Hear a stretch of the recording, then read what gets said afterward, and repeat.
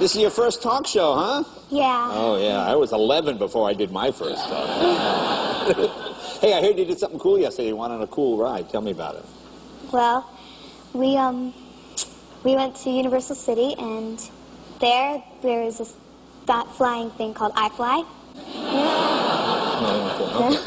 Now, what are you gonna? You gonna sing something for us? What are you gonna sing? I'm going to be singing a song called P.A. P.A. Jesus. Oh, okay. Well, right over here with Ricky. Go ahead.